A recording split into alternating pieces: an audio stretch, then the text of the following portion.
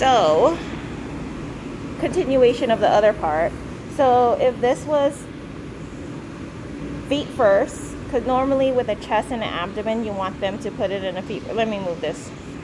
Okay, so now our patient is head up here and feet down there, right?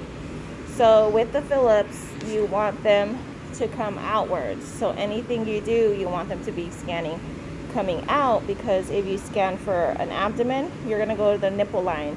Your nipple line is your zero point. So bring the patient in,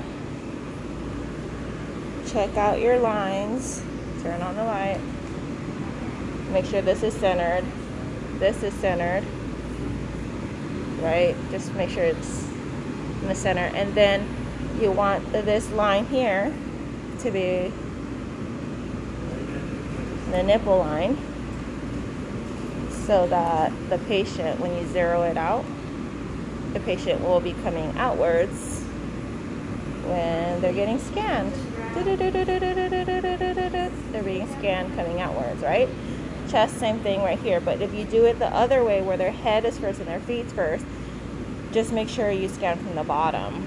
So if it's an abdomen, you want to scan from like the bottom of the pelvis, or your greater go trochanter, and then if the chest, you want to be in the bottom, and then so it's scan. So whatever you're doing, just imagine the patient coming outwards, and that way your your body's being scanned in that direction.